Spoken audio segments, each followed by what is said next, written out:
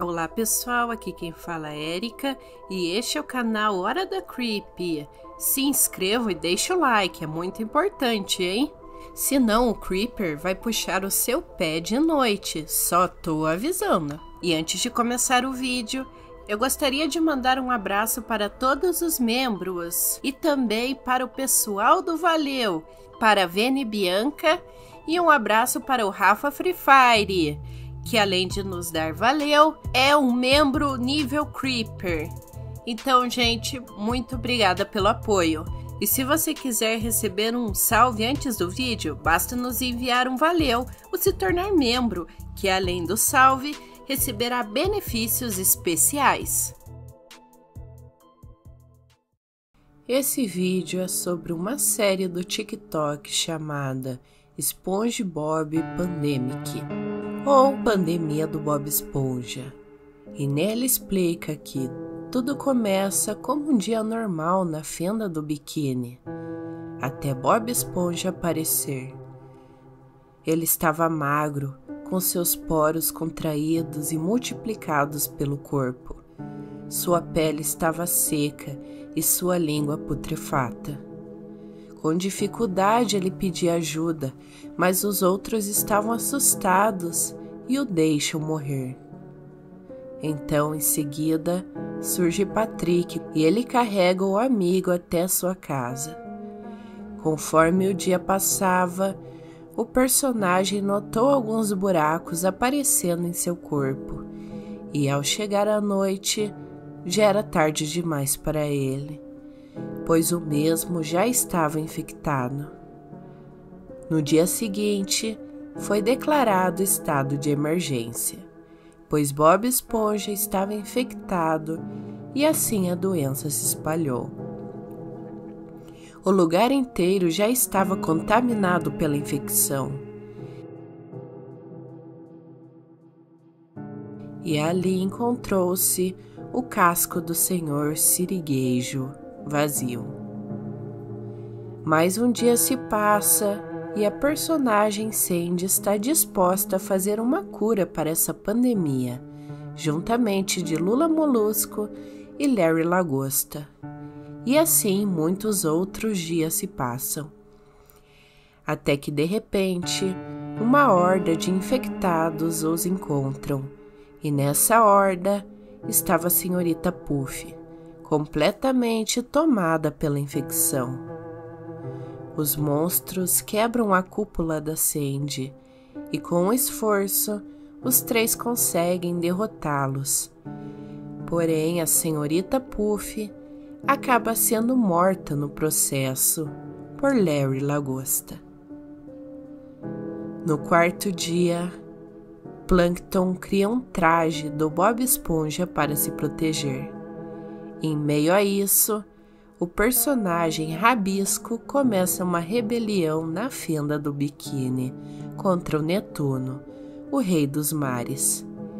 Rabisco esperava que Netuno fizesse alguma coisa quando tudo começou, mas ele não o fez e por isso criou ódio pelo personagem e consegue prendê-lo, assim se tornando o novo rei dos mares. Jacende e Lula Molusco vão em busca de Plankton para unirem sua inteligência e encontrarem a cura.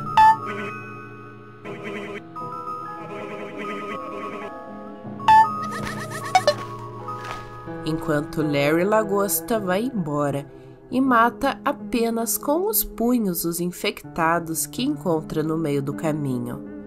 No entanto, perde um de seus braços e continua sua jornada, até ser preso por Rabisco.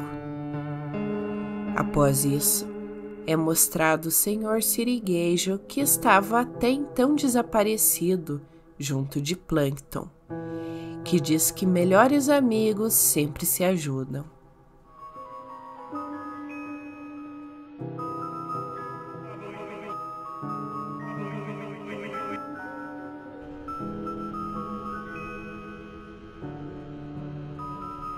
Na próxima parte, é descoberto como o vírus esponja funciona, através de um personagem chamado Fred, que está infectado. O primeiro sintoma é cansaço extremo, seguido de manchas e machucados na pele. Posteriormente, a boca do hospedeiro fica completamente seca. E finalmente, a transformação acontece.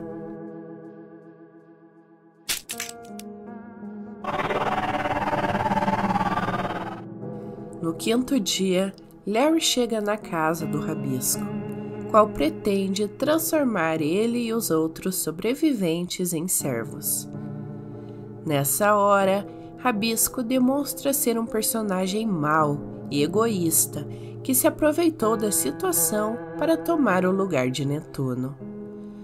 O mesmo explica que conseguiu efetuar seu plano através de seus aliados, que são as outras formas de Bob Esponja, como o Bob Esponja das cavernas e Abrasivo, o lado verde da esponja.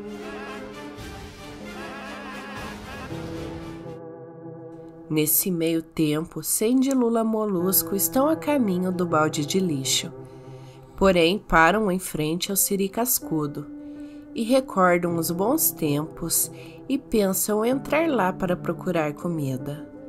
No entanto, eles estavam sendo observados.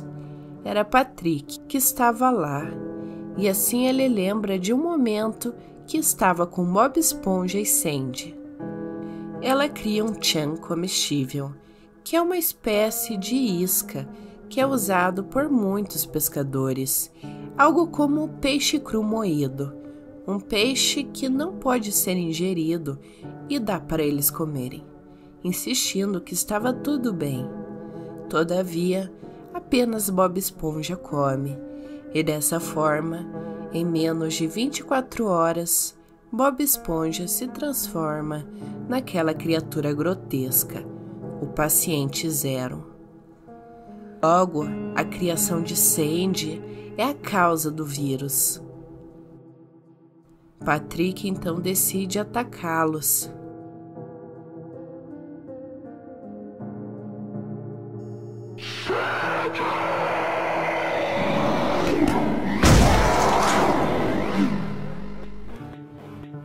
Ele consegue pegar Lula Molusco. E Sandy o ataca com sua arma, mas Patrick tem capacidade de se regenerar. De repente, Plankton aparece para ajudar com sua armadura de Bob Esponja, mas esta é completamente destruída por Patrick. E Plankton é pego pelo mesmo. Quando Patrick estava pronto para devorá-los, ele escuta um som vindo da casa de Bob Esponja. E assim solta os dois que caem. E o bolha suja os salvam. Ao mesmo tempo, seu siriguejo sai de dentro do siricascudo, onde Plankton o mantinha preso, e vai em busca do som que também ouviu. Plankton implora para que ele não vá até Bob Esponja. Ele tenta fazer com que seu siriguejo se lembre de sua vida antes do vírus, da amizade que eles tinham, do siricascudo e até de sua própria filha. E insiste em querer salvá-lo. Plankton começa a chorar, mas interrompido por sua esposa Karen. Ela e os outros sobreviventes avisam que precisam se esconder, pois tem uma horda de infectados vindo em direção deles por conta do chamado de Bob Esponja. E assim a primeira temporada da série termina, com a imagem do monstro em que Bob Esponja se transformou.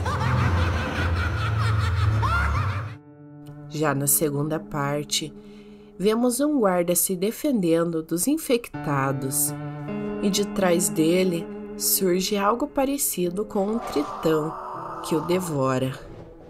Em seguida, é mostrado abrasivo que provoca Netuno, o chamando de raça patética de Poseidon, e se gaba de ter o derrotado. Depois é revelado a imagem de uma vidente vendo tudo o que está acontecendo através de uma bola de cristal.